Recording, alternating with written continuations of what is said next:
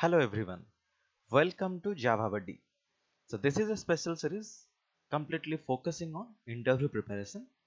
So today we will discuss about the very basic principles of Java that is the OOPS concepts. So OOPS is a very basic uh, or it's kind of you can say the building block of any object oriented programming language like Java. So uh, when we say object oriented programming, so what are they?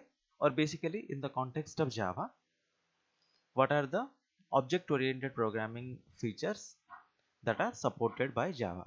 Or how java does the object oriented programming? So you can get uh, a variety of questions uh, revolving around the same thing. So somebody may ask you uh, what all uh, oops concepts java has or somebody may directly say okay explain uh, this. So basically like everybody is trying to point out the same thing that is what features are supported inside the oops. So there are basically four major things in the object oriented programming. So the first one is encapsulation. The next one is inheritance. The next is polymorphism. And the next one is abstraction. So i will explain in detail with examples of all these things. So these are the basically the four building blocks of um, object oriented programming. So we'll discuss in detail about all this so first let's discuss what is encapsulation and let's do that using an example. So but before going to encapsulation it's also uh, like you know and important that you understand what is a class or what is an object. So you um, might be knowing that uh, uh, when we talk about object oriented programming so basically like you know everything is uh, based on objects. So why so? Uh, so the you know the whole idea of doing object oriented programming is that means you always do the programming with respect to the object. So that means here we don't uh, talk in like for example we are trying to develop uh, a functionality. Let's say we are trying to calculate the marks of a student. So that functionality will not uh, be available in a isolated manner so whatever functionality that are related to student so what we do so basically we create a blueprint of student. So what are the properties of a student and what all functionalities the student can perform. So we always think it from the point of view of a object. So we always think so when we are thinking of a student or let's say when we are thinking from uh, the point of view of a person so what we see so we can see different attributes like a person has hands legs uh, nose. So these are the attributes. And if we say what are the methods so he can walk he can talk. So these are the methods we can say. So so so we re represent this as a entity. Or we create a blueprint. And the object is basically every time we try to um, like you know represent that blueprint. So we create an object. So like in this case the student it's a class or basically the student is a blueprint. You can have attributes like say integer roll number integer marks. So you can add various attributes and you can add some methods like uh, double sorry. Void. Uh, check. Grade. So basically you can create a method to check the grade of, of the student. So it's just an example. So you can uh, like you know based on the requirement you can have a lot of uh, different methods lot of attributes. So here you can see the student is a blueprint or also we call as class. And all the attributes which is called as the instance variables are represented like this. And the functionalities or the behaviors are represented as methods. So this is a class. And whenever we want to use the blueprint so what we do? So we create objects of the public static void main.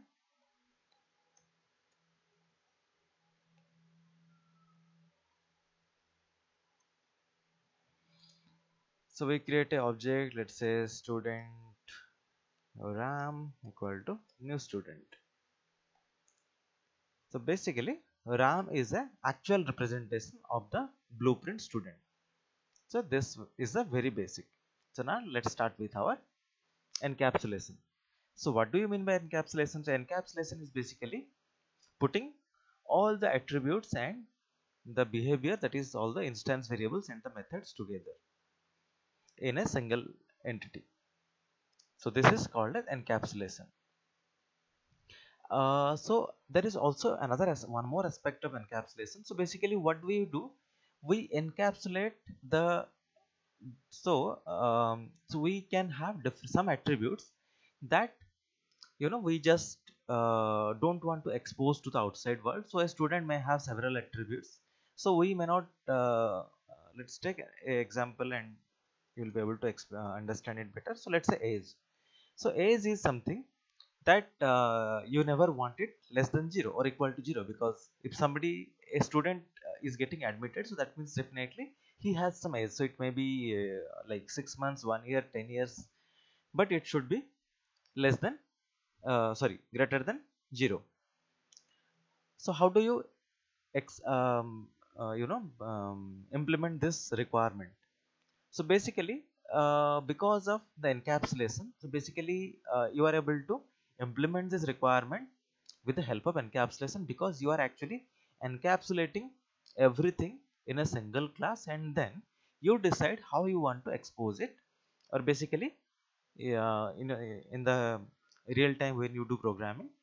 So how you handle this requirement is you make this variable private and for setting the edge you create getters and setters. So something like public void set edge.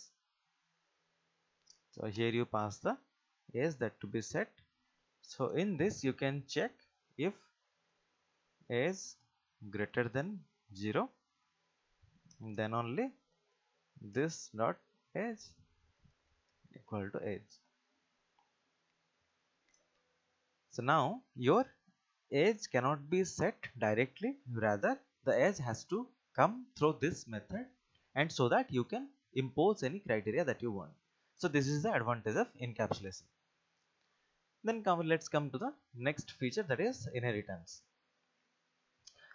So inheritance why it is required or why it is so special.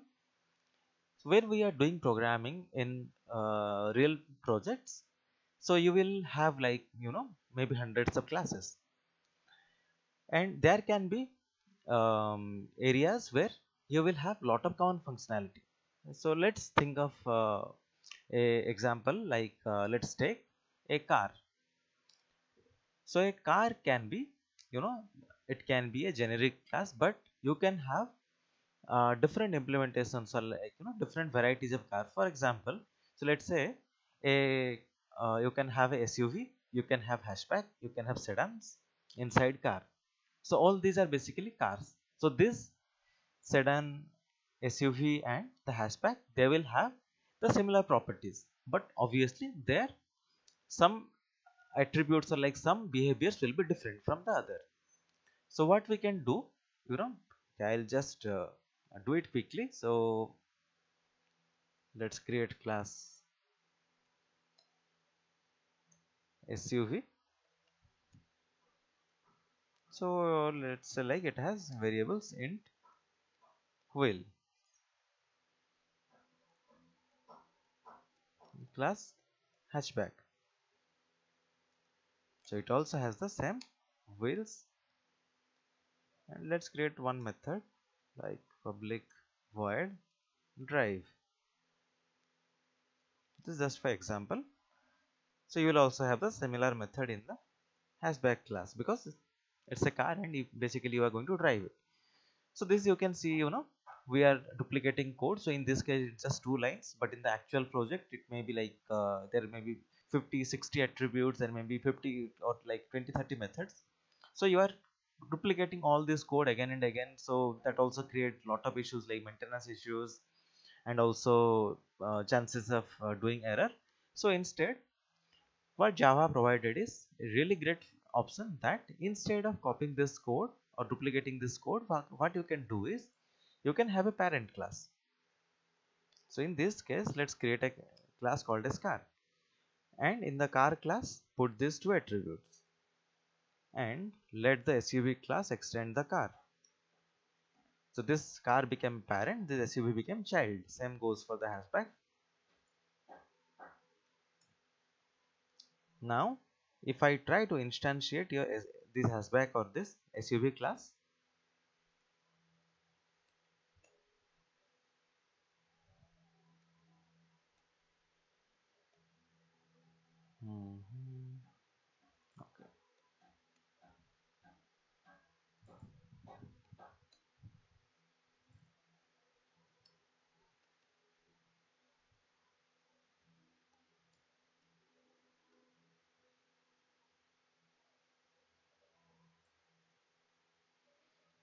If I try to create object of hatchback and execute the drive method let's put something in the drive like this out or print hello. So you can see that this hatchback does not have any single lines of code but if I try to run this above code the hatchback.drive so the drive method of the parent will be executed and hello will be printed. So isn't it amazing that okay somewhere I missed uh, what I missed? Okay. My bad.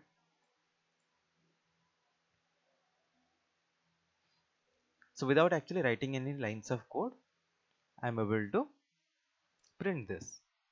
Okay so let's go to the next uh, feature that is the polymorphism. So polymorphism what this term means is so polymorphism is poly means many and morphis morphis forms. So it's like many forms. So what is exactly that?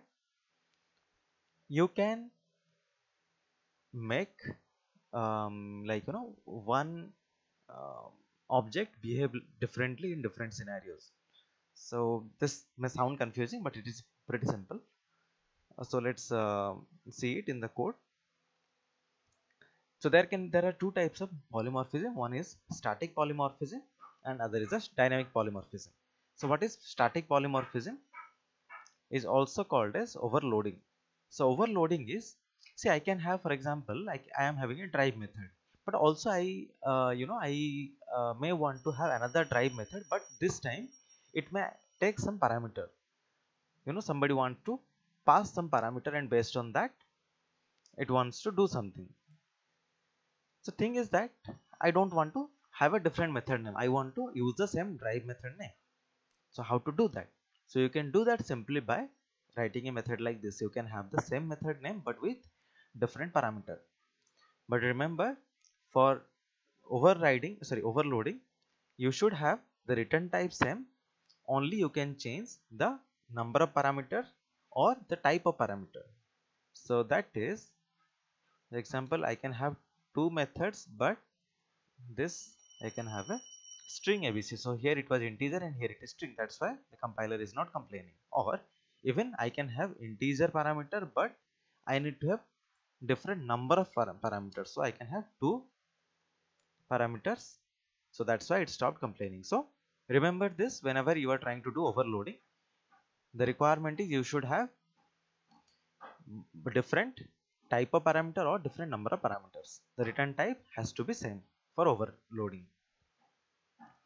So this is one type of polymorphism called as static polymorphism. Why static? Because this happens at the compile time. Okay. The other type of polymorphism is dynamic polymorphism. So what is dynamic polymorphism or is also called as overriding. So in this case your suv is extending car. And we are not implementing anything. But what if the suv you, you want to provide some different kind of behavior? So how you will be able to do that? Very simple is by overriding the same method. Overriding means you can actually define the same method again in your suv class. And you can give a different behavior here in this case let's just print suv okay and uh, let's try to run it. Sorry. Parent is car SUV equal to new SUV or car car so in this case you can see the reference is of car. Okay the, the preference is same. So now if I run this the content of the SUV class drive method will be printed. But at the same time let me just copy this code and put it in the hatchback class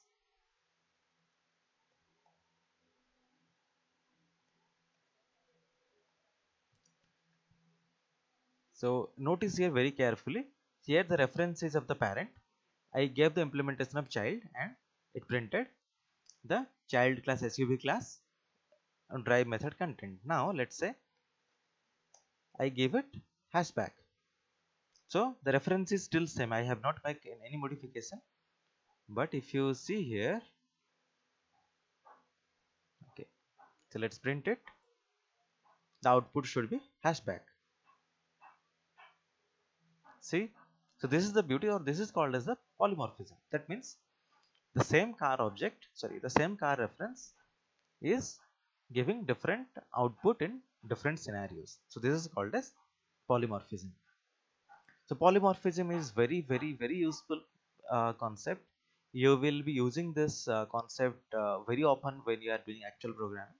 So if you if you are uh, you know not very sure uh, you can uh, watch the videos about polymorphism in this channel so i'll try to provide the link in the description and the last functionality or the last feature is abstraction so abstraction as you can uh, know from, from the term that uh, abstraction is hiding and abstraction is also called as data hiding.